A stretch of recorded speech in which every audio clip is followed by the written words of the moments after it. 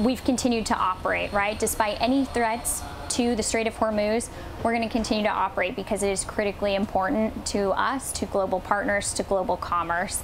Um, so we've been continued to operate, whether it be, right, we haven't had a carrier strike group maybe for eight months, but we've still had ships uh, on a constant present transit these international waters to show that it's open for business and that we continue to preserve that business. Well, I mean, the Navy's uh, shown that they're committed to uh, regional stability uh, all across the globe, uh, but particularly in the Gulf region. You know, it's a very economically important area uh, for the entire world. And so we're going to continue to go wherever we can internationally, international waters, and we're going to, you know, show our presence. hopefully it is a calming effect.